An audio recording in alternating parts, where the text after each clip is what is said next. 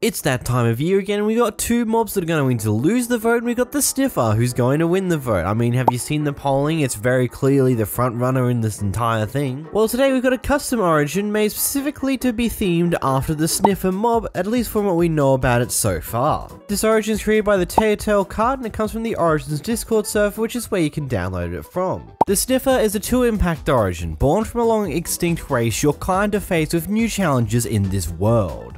And if you want to see me use this origin for a challenge in the future, make sure to subscribe to Krzair Games. nice plug. Moving into our first ability, we've got Aquatic Adaptation. Coming from the depths of the ocean, you can hold your breath for twice as long as a normal creature can. Now, at the surface level, this ability seems pretty self-explanatory. You just get double the breathing time, right? kind of, but yes, but actually no, because this gives you about 10 seconds of water breathing as a bonus rather than increasing the amount of time it takes for the bubbles to go down. The bubbles will still take the same average 15 seconds before you start taking any form of health damage from drowning.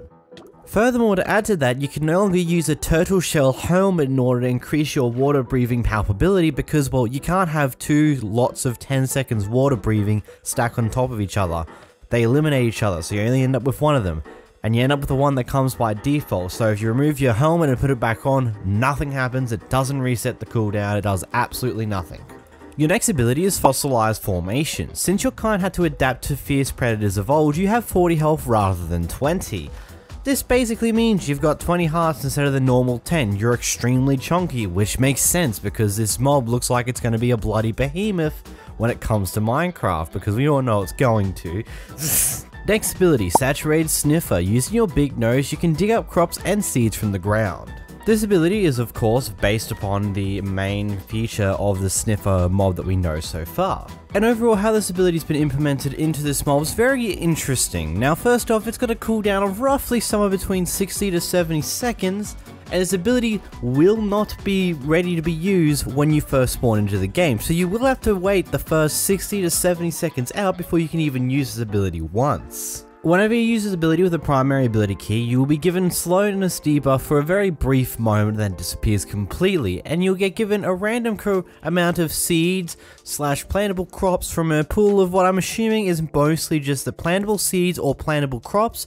I have no idea if it contains sugarcane or cactus though, but you get the drift on what the purpose of this ability will be. And this ultimately becomes a really good food source when we move on to the next ability, Planter's Palette. You gain twice the amount of saturation from crops and items made from crops, just then turns this powerful ability to get easy food into something stupendously beautiful because, well, not only do you have easy access to really decent foods, these foods are twice as good as what they ever were before. So not only are you going to be super useful in multiplayer scenarios, it's just going to be overall stupendously useful for yourself. Sensitive stomach. Coming from ages long gone, your stomach is not able to handle any modern animals except for fish. Overall, this ability is just interesting to have there because I don't think it will matter too much to the game whatsoever. Especially considering in a solo playthrough, why would you waste your time farming animals for their meat when you already have extremely easy access to a lot of crops that are super powerful for you to use. This may prove somewhat interesting to have there as an effect when it comes to multiplayer play because someone else may farm up a lot of steak that is super nutritious and super useful saturation wise, but overall it's a mute point. This ability is kind of there but ultimately won't really do anything. Funny side note, whilst you can't eat any form of raw rabbit whatsoever, you can have a rabbit stew perfectly fine, which is interesting. In the next ability, we got the Moistened Monster. Due to your oceanic heritage, you'll lose hunger faster in hotter climates. The collection of biomes that you probably want to be aware of when it comes down to this is of course your typical desert biome as well as the mesa biomes, as well as the majority of the nether biomes, but probably another little thing on top of that would be the warm ocean biomes they also consider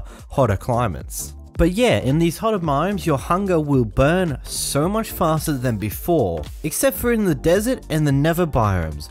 Instead, you will literally burn.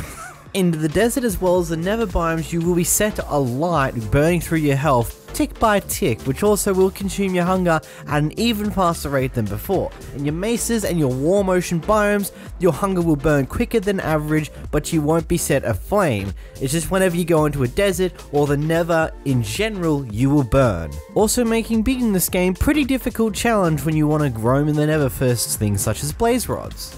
Next we have Tonnage Trouble. Due to your massive size, you are about 15% slower than normal. Basically, you just have a permanent slowness effect. Except for you don't, because that effect actually isn't on screen, you're just slower. Meaning that other slowness debuffs will be able to affect you as well and are ultimately going to be far more painful than before. Which makes me query, why doesn't the breathing effects follow the same motto? Oh well. So, what are your thoughts on this origin? Let me know in the comments down below as always, and I will be trying to find another collection of origins to fit the other two mobs from the mob vote. But either way, if you did enjoy this video, make sure to like button down below and subscribe, and I'll see you guys next time. Bye bye!